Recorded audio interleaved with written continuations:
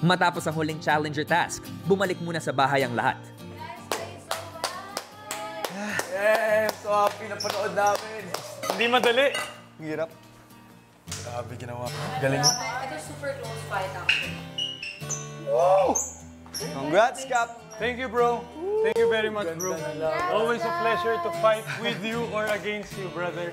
I was so happy and I was delighted to be part of the challenge and it's a privilege for me na makalaban si Zach doon. All heart din at ah, talagang never say die si Zach.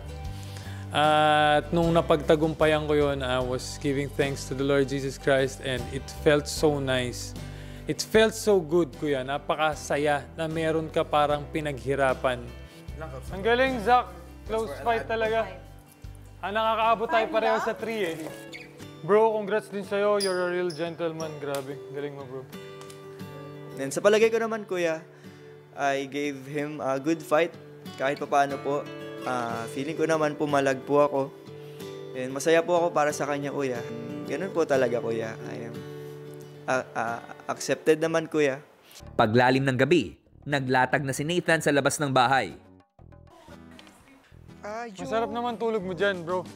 Dito, masarap.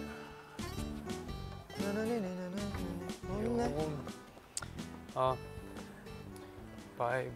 And first of all, congratulations, Cap. Thank you very much, Zach. Please take care of these You're diamonds. a gentleman and it was a tough battle. So this is 6 million diamonds in Kumu. Tapos 240 na golden blocks. Yep. Congrats! Thanks, bro. Matulog ka ng maimbing. Ako rin.